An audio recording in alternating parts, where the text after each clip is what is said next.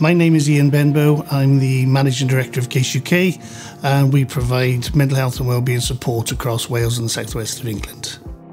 The key part that drives me in business is about improving the lives of others and helping people improve their well-being and stay in work, which is something that I struggled with and I think it's, it's the passion for where I'm at.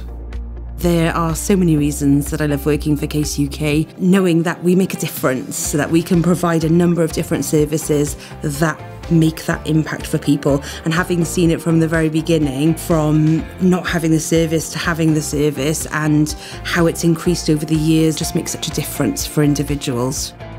One of the key developments that we have within Case UK is Case Cafe is, has been an amazing addition to our services. It allows us to go out and work in the communities. That helps us engage people across Wales.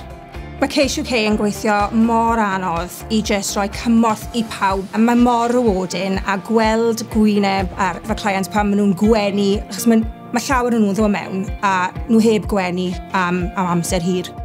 I think that to be nominated for an award is just like icing on a cake. It's amazing and it is truly something that just highlights how well the company work towards the goals that we want to achieve, how it works towards its vision.